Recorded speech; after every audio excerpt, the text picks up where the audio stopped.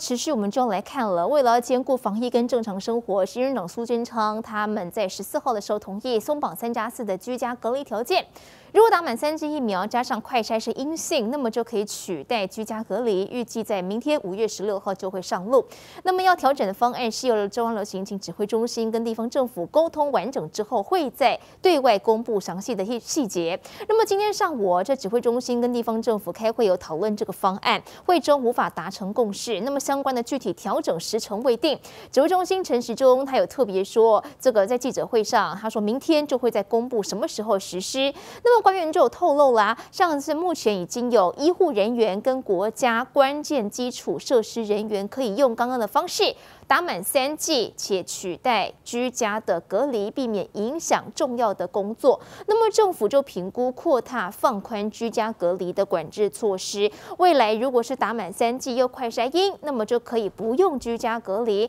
但如果确诊者还是必须要隔离哦，哈，这个非常的重要。那么至于电子围篱的退场，指挥中心也会在公布是否要做调整。那么刚才就有说这个三加四要再继续松绑，最快明天起就。可以上路，只不过刚才就有说，这地方政府跟中楼行行指挥中心今天在沟通的过程中，还是有一些意见分歧。我们来听听他们的说法。昨天啊，跟今天，我们进行了一些相关的议题，啊，跟专家哈，跟相关的专家，还有跟地方啊的首长，好或地方的卫生局一起来讨论。好，那今昨天的讨论跟今天的讨论，当然没有办法一下就达成完全的共识。那后续的一些配套需要整理。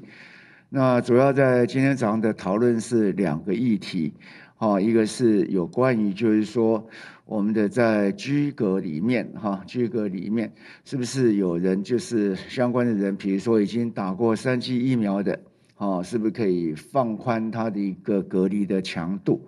那在今天早上这一题里面，还是没有达成一个共识哈。最主要有人认为说要更松哈，更松一点哈，就等于就希望这些人都完全进到加期，或者做一个低度管制。那有共识的就认为就是在行政上面的哈的那种负担一定要减低，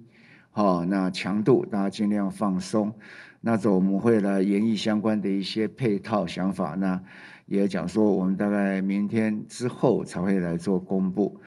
而新北这边，他们是早就喊出快筛杨视同确诊，指挥中心公布时间较晚，被外界批评指挥中心是否都慢了双北一步呢？甚至是抄袭政策。对此，指挥官陈时中在今天回应说，这种东西没有谁先谁后，指挥中心要顾到全面的效益。这东西大概没有说谁先谁后了。好，有些就是他有一个新的政策的构想，那都可以提出来。但是指挥中心也不会说大家提出一个政策构想，我们就照单全收，还是要经过专家大家做一个全面性的讨论。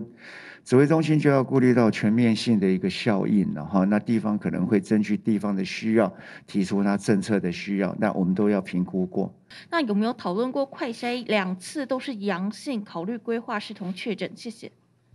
嗯，这也不是不行嘛，哈，就是大家就是一个阳性的预测率嘛，好，那这里面我们想想看，大家有讲说，哦，北线就是哈，本来在谈说北线就是啊，新北市它的阳测就是那种相符度有九十七趴，只有三趴，那所以大家以前在想说，那是不是有新北市，好，就是把它当做一个好阳性预测率特别高的，那就来新北市先做。可是大家想想看，做新北市那时候先做，我们不做全盘的考虑，那其他外县市都跑到新北市来了，那本来最忙的地方又加重了负担，哦等等的，所以我一再强调整体的政策，地方当然有些政策的建议，我们绝对会参考，但是中央要考虑到是全台湾全国的一个事务，怎么样才能够平衡，啊，这是我们在思考的事。好，本土疫情现在连日单日破六万人确诊，针对口服药物的发放，中央流行疫情指挥中心有公布了最新的讨论结果，决议六十五岁以上快筛阳性可直接给药。但陈仁忠也提到了快筛是否跟确诊绑在一起，今天大家还是有很多的意见呢，那么也会跟法制单位来讨论看看。六十五岁以上，好，非这原来三类对象快筛阳性，经医师评估则可以投药。哦，那为现阶段疫情防治的重要手段，要降低重症的死亡。那这个方法就是最早我们提出来，叫在六十五岁以上，如果是快筛阳，那不跟这个所谓的确诊，哈，就把它切割开来，就快筛阳经过医师的，哈相关的一些评估跟使用药物就可以，哈处方给予药物，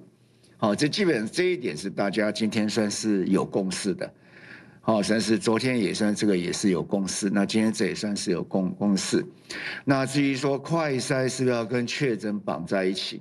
好，那这个大家今天的意见仍然很多啊。那我们会研议有一个先是提出来一个蛮有建设性的想法，那我们会跟我们的法制再来做一些讨论。顺帮大家科普一下，水神就是维酸性电解次氯酸水，跟病毒作用之后会再还原成水，温和不刺激，也不会伤害肌肤。所以母亲节要到了，还想不到到底要买什么的话，赶快到快点购，记得输入折扣代码 CTI 七一七，帮你把好康带回家。